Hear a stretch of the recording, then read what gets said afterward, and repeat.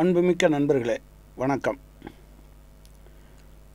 Sterlite மூடப்பட்டதை எதிர்த்து அந்த நிர்வாகம் தேசிய பசுமை தீர்ப்பாயத்தில் மேல்முறையீடு செய்தது. தேசிய பசுமை தீர்ப்பாயம் ஓய்வு பெற்ற நீதிபதி தருண் அகர்வால் தலைமையில் மூவர் கொண்ட ஒரு குழுவை அமைத்தது. அந்த குழு கொடுத்த அறிக்கை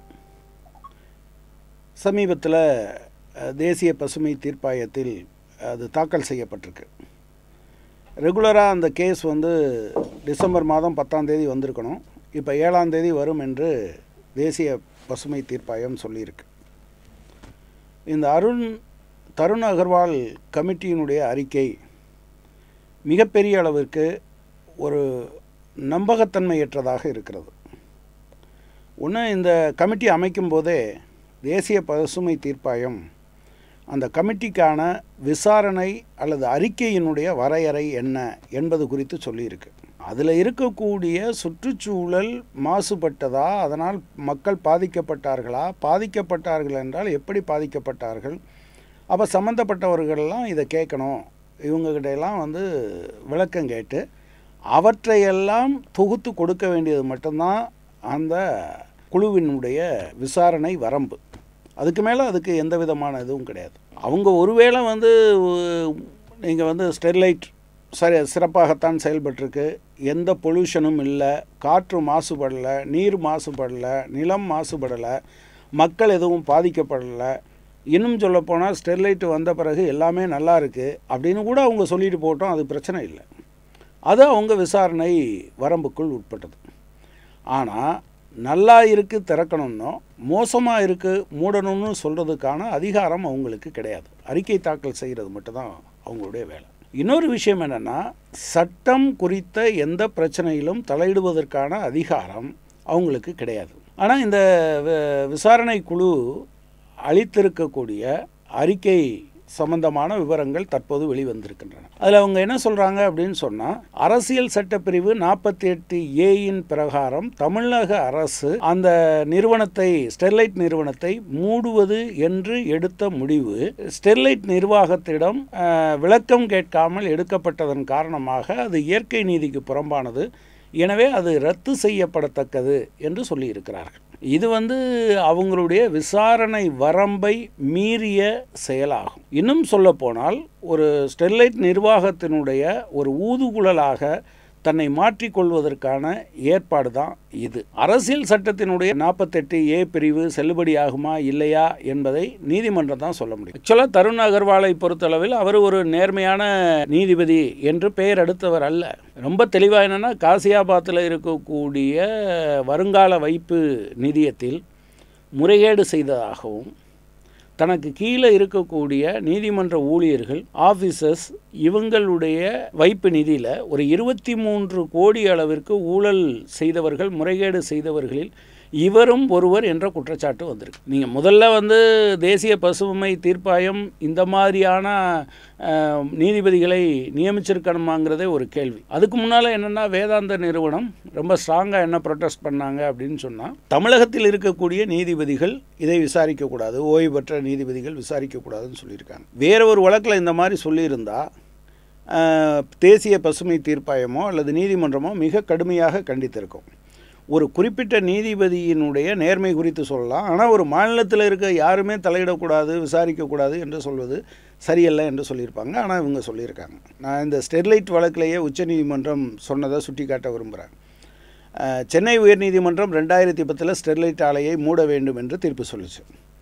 அதன் மீதான வழக்கு உச்சநீதிமன்றத்தில் நடந்தது. உச்சநீதிமன்றம் அந்த தீர்ப்பினுடைய இறுதி பகுதியில் என்ன சொல்லியிருக்குன்னா உயர்நீதிமன்றத்துக்கு ஒரு நிர்வாகம் எடுத்த நடவடிக்கை சரியாக தப்பான்னு சொல்கிற அதிகாரம் அதுக்கு கிடையாது. எனவே அதில் த அத- அந்த நிர்வாகத்தினுடைய வரம்புக்குள் நீங்கள் தலையிட்டது தப்பு என்ற முடிவுக்கு வந்து அது கடைசியில் சொல்லும்போது என்ன சொல்லுவாங்கன்னா இந்த தீர்ப்பு தமிழ்நாடு மாசு கட்டுப்பாட்டு வாரியம் எதிர்காலத்தில் எடுக்க போகிற எந்த நடவடிக்கையும் அது அந்த ஆலையை மூடுவது என்று முடிவு செய்தால் கூட அதற்கு இந்த தீர்ப்பு தடையாக இருக்காது.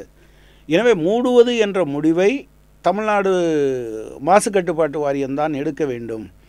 அதை கோர்ட்டு சொன்னது தான் தப்பு என்று தான் அவங்க சொன்னாங்க. ஸோ இந்த பின்னணியில் இப்படி ஒரு தீர்ப்பு இது அன்னைக்கு இயங்கி கொண்டிருப்பதே வந்து தனக்கு இருக்க வரம்பை உயர்நீதிமன்றம் மீறியதாக சொல்லித்தான் அவங்க சொன்னாங்க. ஆனால் அதே விஷயத்தை இந்த விசாரணை குழு அதை மீறி இருக்கிறது என்பது ரொம்ப வருத்தத்துக்குரியது.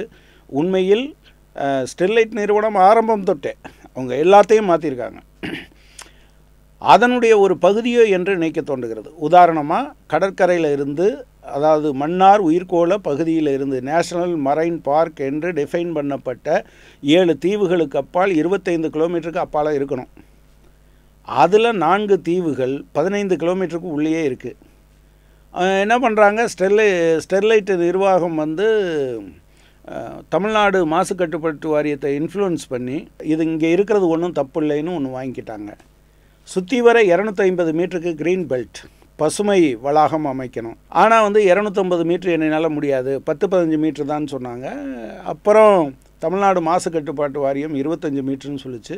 இன்னைக்கு வரையிலும் ஒரு மீட்ரு அளவுக்கு கூட பசுமை வளையம் அமைக்காத நிலைமை தான் தொடர்கிறது. இப்படி பல விஷயங்களை சொல்ல முடியும். அதனுடைய ஒரு பகுதி தான் இது என்று பார்க்க முடியுது. அதாவது அரசு நிர்வாகத்தை பல்வேறு அரசு அமைப்பு முறையின் பல்வேறு அடுக்குகளுக்குள் நீங்கள் வந்து ஸ்டெர்லைட் நிர்வாகத்தால் நுழைய முடிகிறது இன்ஃப்ளூயன்ஸ் பண்ண முடிகிறது மாற்ற முடிகிறது என்பதைத்தான் இது காட்டுகிறது என்று சொல்ல முடியும்.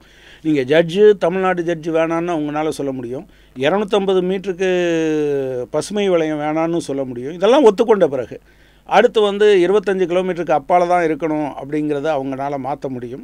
என்கிற அளவுக்கு அவங்க வலுவானவர்களாக இருக்கிறார்கள். அதனுடைய விளைவு தான் இது என்று பார்க்க முடியுது. நீங்கள் இப்போ இதோட சேர்ந்த இன்னொரு விஷயம். இப்போ மார்க்சிஸ்ட் கட்சியினுடைய தூத்துக்குடி மாவட்ட செயலாளர் தோழர் கே எஸ் அர்ஜுனன் அவர் உயர்நீதிமன்றத்தில் மனு தாக்கல் செய்தார். இந்த கேஸ் முழுவதையும் சிபிஐ விசாரிக்கணும். சிபிஐ விசாரிக்கணும்னு உச்சநீதிமன்றம் சொல்லுச்சு. சிபிஐ ஏன் விசாரிக்கணும்னு அவர் கோரிக்கை வச்சுருந்தாருன்னா அங்கே இருக்கக்கூடிய லோக்கலில் இருக்கக்கூடிய போலீஸ் அதிகாரிகள் ரெவன்யூ துறையைச் சேர்ந்தவர்கள் உயர்மட்டத்தில் இருக்கக்கூடிய காவல்துறை அதிகாரிகள் இவங்க எல்லாம் சேர்ந்து செஞ்ச படுகொலை அந்த பது பதிமூணு பேர் கொல்லப்பட்டது என்பது ஒரு கொலைதான். எனவே கொலை வழக்கு பதிவு செய்ய வேண்டும் விசாரிக்க வேண்டும்னு சொன்னார். ஆனால் சிபிஐ என்ன பண்ணுச்சுன்னா ஹைகோர்ட் இப்படி சொன்னோன்னே அந்த திரும்ப நிர்வாக தரப்பில் என்ன சொன்னாங்களோ அதை மட்டும் கேட்டுக்கிட்டு இருந்தாங்க. பிறகு திரும்ப கண்டம்ட்டு பெட்டிஷனுக்கு இவங்க போனாங்க. ஜாயிண்ட் டைரக்டரை பார்த்து பெட்டிஷன் கொடுத்தாங்க. இப்போது இப்போ அதிகாரிகள் மீது வழக்கு பதிவு செய்யப்பட்டிருக்கு. அப்போ என்னென்னா ஒரு தவறு செய்வதற்கு அதிகாரிகளை உட்படுத்துவது என்பதும் இது இது இது தனியானது மட்டும் இல்லை. நீங்கள் உச்சநீதிமன்றம் அஷிஷ் குமார் தூத்துக்குடி மாவட்ட கலெக்டராக இருக்கும்போது ஒரு பிரச்சனையில் எனக்கு வந்து உங்கள் அஃபிடவிட் என்னன்னு சொல்லுங்கன்னு கேட்டிருந்தது. அதுக்கிட்ட நீதிமன்றத்தில் இந்த வழக்கு இருந்தபோது இந்த மூடுவது சம்மந்தமான வழக்கு இருந்தபோது. அப்போ ஆசிஸ் குமார் கலெக்டராக இருந்தபோது கொடுத்த அறிக்கையை உச்சநீதிமன்றம் தூக்கி பிடிச்சு. அது என்ன கேட்டுச்சுன்னா இது மாவட்ட நிர்வாகத்தினுடைய பிரமாண பத்திரமா இல்லை ஸ்டெர்லைட் நிர்வாகத்தினுடைய பிரமாண பத்திரமான்னு கேட்டது. அந்த அளவுக்கு அரசு அமைப்பில் நிர்வாகமோ காவல்துறையோ இன்னும் பல துறைகளில் ஊடுருவதற்கும் இன்ஃப்ளூன்ஸ் பண்ணுறதுக்கும் தகுதி படைத்தவர்களாக அவர்கள் தங்களை மாற்றிக்கொண்டிருக்கிறார்கள் அவர்களுடைய பணபலம் அந்த அளவுக்கு பாய்கிறது என்கிற காரணத்தினால்தான் இந்த தருண் அகர்வால் கமிட்டியினுடைய அறிக்கை முற்றிலுமாக நிராகரிக்கத்தக்கது. அவர் வரம்பை மீறி இருக்கிறார். ஸ்டெர்லைட் நிர்வாகத்தினுடைய ஊதுகுரலாக செயல்பட்டு இருக்கிறார்.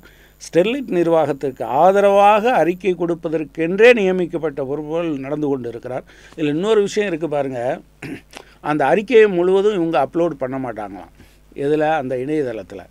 அப்புறம் இதில் எதிர்மனுதார் ஐந்தாவது எதிர்மனுதார் மார்க்சிஸ்ட் கம்யூனிஸ்ட் கட்சியினுடைய தூத்துக்குடி மாவட்ட செயலாளர் தோழர் கே. எஸ். அர்ஜுனன். அதாவது எதிர்மனுதாரருடைய வக்கீலுக்கு கூட இந்த அறிக்கையை கொடு அந்த அறிக்கை கொடுப்பதற்கு தே ஆர் நாட் என்டைட்டில்டு அதுக்கு கொ- கொடு அவங்களுக்கு கொடுக்கணும் தான் அவசியம் இல்லை என்று சொல்லியிருக்காங்க. இந்த அறிக்கை தாக்கல் பண்ணுற அன்னைக்கு கூட அதில் இருக்கக்கூடிய மார்க்சிஸ்ட் கட்சியினுடைய வக்கீலுக்கோ அல்லது வந்து திரு வைகோ அவர்களுடைய வக்கீலுக்கோ இன்னும் சில பேர் அதில் இன்வால்வ் ஆகியிருக்காங்க அவங்களுக்கெல்லாம் இந்த அறிக்கை கொடுக்க முடியாதுன்னு சொல்லியிருக்காங்க. எனவே இந்த அறிக்கை முற்றிலுமாக நிராகரிக்கத்தக்கது. ஸ்டெர்லைட் நிர்வாகத்தின் ஊதுகுழல் போன்று அது இருக்கிறது. ஸ்டெர்லைட் நிர்வாகம் பணித்தபடி அறிக்கை கொடுக்கப்பட்டு இருக்கிறது என்கிற காரணத்தினால் மார்க்சிஸ்ட் கட்சி அதை நிராகரிக்கிறது. தேசிய பசுமை தீர்ப்பாயம் அதை நிராகரிக்க வேண்டும் என்று கேட்டுக்கொள்கிறோம்.